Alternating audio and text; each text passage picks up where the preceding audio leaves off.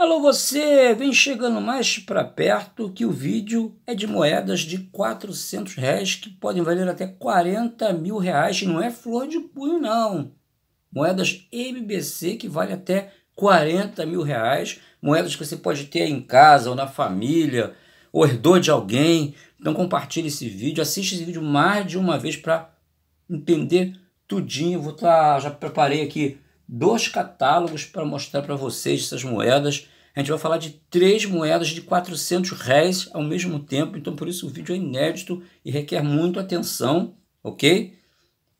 Moedas que às vezes por falta de conhecimento acaba saindo por valores irrisórios. Teve uma que a, logo quando iniciei o, catálogo o canal lá em Minas Gerais eu vi uma senhora vender o cara dá 30 reais na moeda. Tá? 30 reais numa moeda de 400 reais que vale mais de mil reais.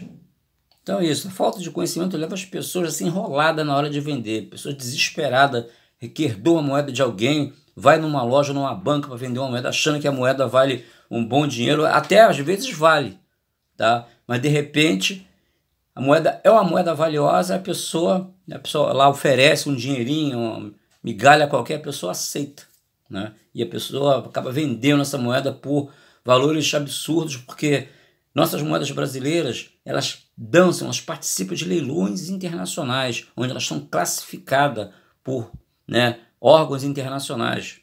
Então acompanho muito isso, todo dia tenho visto nossas moedas aí sendo vendidas no Heritage Act, outros leilões poderosos, né, de, de Genebra, né, de Berna na Suíça, né, em Düsseldorf, Frankfurt na Alemanha, em Nova York, Washington, moedas vendidas na, em Roma na Itália, em Milão.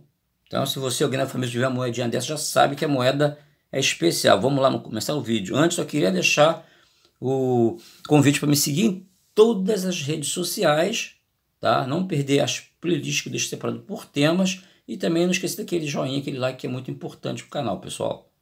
Então, primeiro estarei mostrando essa moeda aqui de 400 reais MCMI de 1901. MCMI é o ano de 1901, tá, pessoal?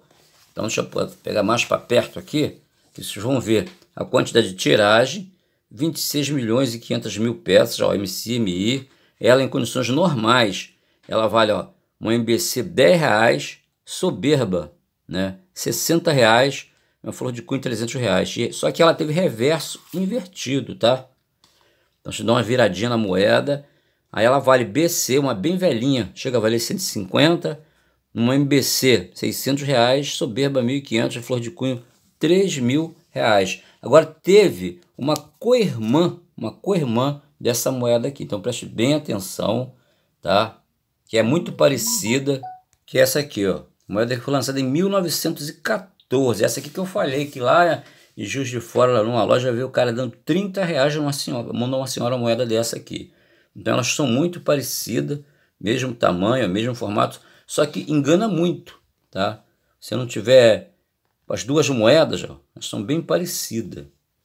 Ó, só, e na frente também, ó, tem existe diferença, mas tem o negócio é que ela tem as armas da República. Deixa eu tentar botar mais de pertinho.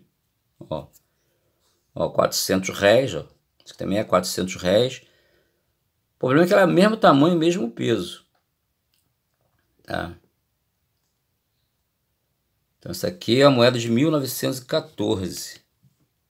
Elas valem, ela teve pescoço curto, pescoço comprido e pescoço curto. São dois tipos de moeda. 1914, elas valem em média 1.000 e 1.200 reais. Isso soberba, flor de cunho, 3 mil. A diferença é que essa aqui não tem aquele turbante em cima escrito Liberty. Ó, ó tá vendo? Isso aqui tem aqui em cima escrito a palavra Liberty aqui em cima. Cruzado aqui assim. Ó. Tá lá. Um diadema onde está escrito a palavra Liberty. Aqui outra moeda de 400 reais, um pouco menorzinha, de prata, tá? De prata. Tá? 8,96 gramas, 28 milímetros. Então essa moeda aqui vocês prestem atenção. Vou botar na íntegra, ela teve mais anos de cunhagem. Ela foi cunhada entre 1834 a 1847, tá? Então, Quem tiver uma moeda dessa 400 reais de prata pequenininha, né? menor do que as outras, então maior, valores que giram, né? Aqui, ó, essa aqui teve 161 unidades, tá?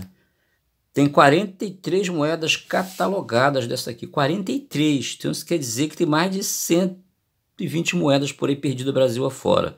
Então ela vale, ó. Claro que é muito difícil encontrar, mas essas 120 e poucas moedas, talvez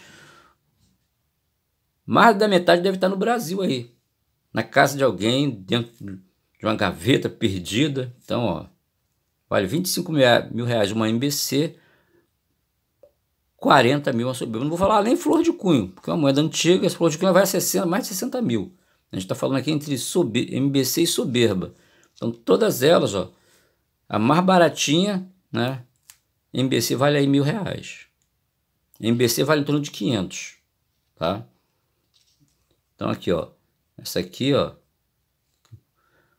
foi que teve mais tiragem. Né? 6.197, teve aqui 7.837, e aqui, essa aqui 1.345, 649, essa aqui tudo com tiragem baixíssima. Essa aqui também, ó, 134 unidades. Tá? Voltando às moedinhas para finalizar o vídeo, pessoal, espero que alguém tenha uma dessas moedas aí em casa. As moedas misteriosas do pescoço curto de 1914 também. Obrigado a todos pela atenção, forte abraço, fiquem todos com Deus e até próximo vídeo.